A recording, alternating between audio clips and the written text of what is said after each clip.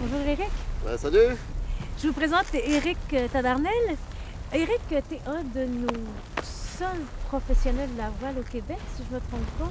Ben, ça fait longtemps que je pratique la voile, Depuis euh, petit. depuis que je suis tout petit. Tu, tu comme ça, à peu près? Ben, à peu près ça. J'avais à peu près 6-7 ans là, quand j'ai commencé avec. Et quand tu, euh, tu fais pas de la voile l'été, l'hiver, euh, tu restes pas assis à côté du feu, toi? Non, non, non. Ça fait déjà plusieurs années qu'on profite euh, pleinement des hivers euh, québécois.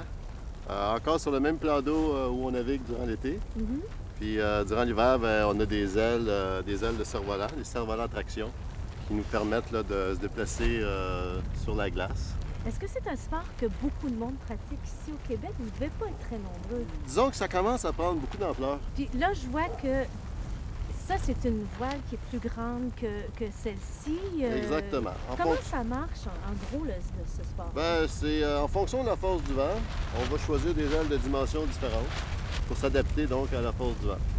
Et là, vous avez installé votre... euh, C'est ça, on a des, des ouais. cordages là, qui servent à piloter le cerf-volant parce qu'on va piloter le cerf-volant au bout des cordes de 100 pieds. Mhm. Puis on va pouvoir profiter au mieux là, de la force propulsive du vent. Et donc, c'est une combinaison d'un sport de glisse euh, et puis le... le- le Ouais, c'est tout nouveau. Le cerf-volant, ça fait 4-5 ans que ça existe, mais ça devient très populaire euh, comme cerf-volant traction durant l'été euh, sur l'eau. Ça a commencé à Hawaï, c'est très très populaire maintenant dans toutes les destinations soleil. Puis nous, on l'a adapté là, pour en faire durant l'hiver. Tu l'as assemblé tout à l'heure, puis j'ai vu que tu utilisais une petite pompe à main. Ben oui, la première étape, euh, lorsqu'on veut euh, faire du cerf-volant traction, c'est euh, de gonfler l'aile. Parce que si on regarde en dessous,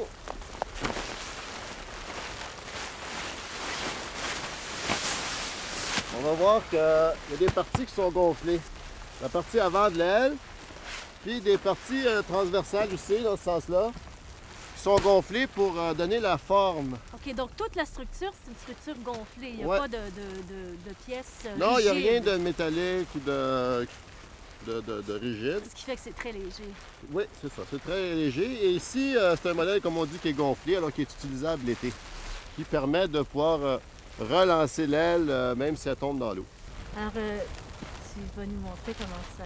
C'est ça, là, on est, pas mal, euh, on est pas mal prêt pour partir. Le temps de mettre ma planche, puis euh, je vais être prêt à décoller.